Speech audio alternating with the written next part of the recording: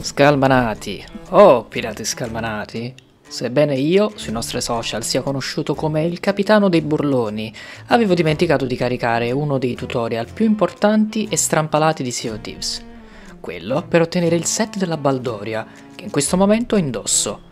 A suggerircelo è stato il nostro Aloysius Finis, il nostro tatuatore di bordo. Per conquistare questo set dovrete eseguire questi semplicissimi step che fanno parte delle onorificenze dei tesori sepolti. Per quanto riguarda le prime, occultatori di tesori segreti e di scorte considerevoli, non dovrete far altro che sotterrare tesori in giro per le varie isole. Questo per il primo step, mentre per il secondo dovrete nasconderne 5 per isola. Nascondete tutto ciò che vi capita a tiro in mare e sulle isole,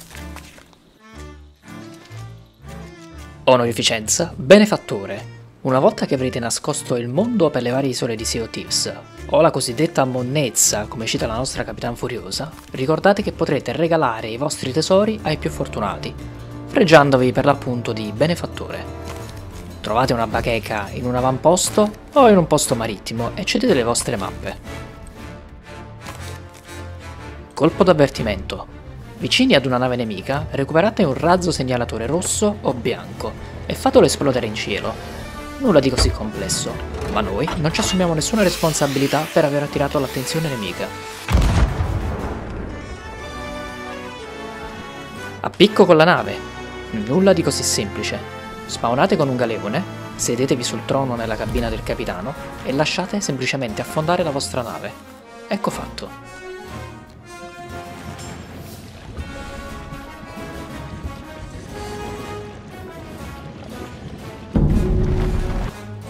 Le onorificenze di momento di riflessione e un nuovo giorno fanno parte di uno dei nostri tutorial intitolato Onorificenze Vette.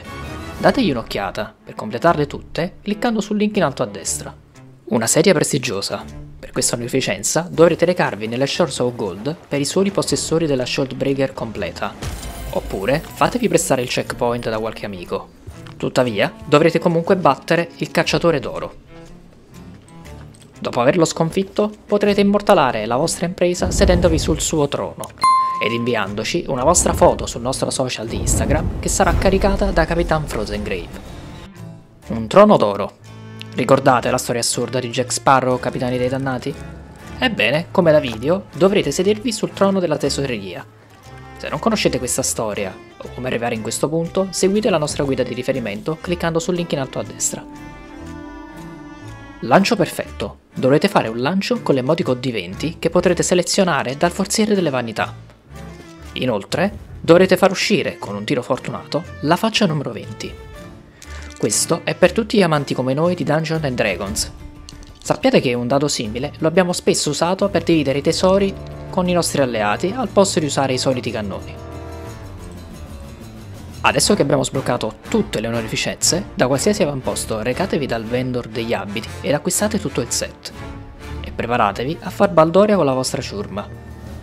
Sappiate inoltre che potrete selezionare gli abiti e gli oggetti dai forzieri esternamente esposti o dalla vostra nave. Se questo video vi è piaciuto, mettete un like, iscrivetevi al canale ed attivate la campanella. A presto! E a proposito, Passate a salutarci sui nostri social Discord e Facebook per salpare tutti insieme.